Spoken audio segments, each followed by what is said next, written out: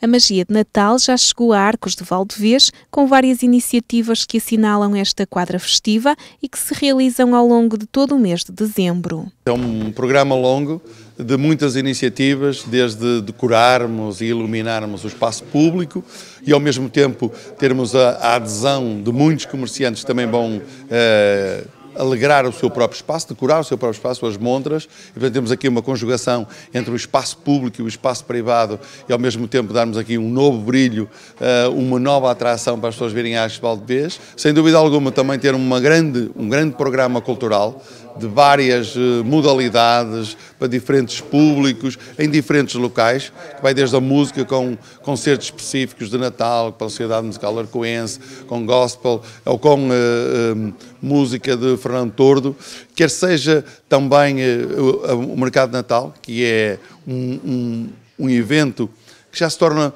uma, um, uma referência em que nós vamos mostrar aquilo que temos, Uh, quer seja dos doces de Natal, quer seja uh, dos momentos do nosso artesanato, também dos produtos locais. É um bom momento também para nós comprarmos aquilo,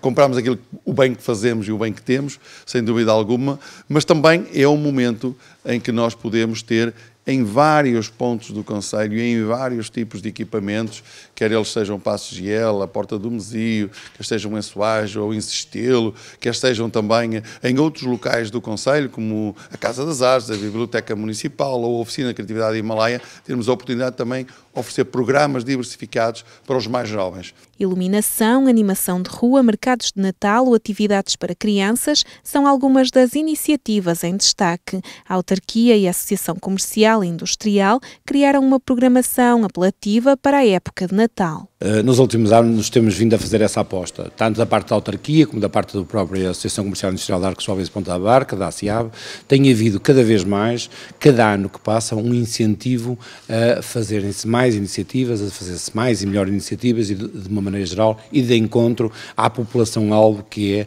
acima de tudo, as crianças, famílias em si. O que é que nós queremos de uma maneira geral? Queremos que seja possível, no fundo, atrair a população a viver o que é que se está a passar cá em Arcos Valvezes, o que está a passar aqui, essencialmente no centro urbano, nesta altura de Natal. A magia de Natal estende-se até 9 de janeiro em Arcos de Valdevez.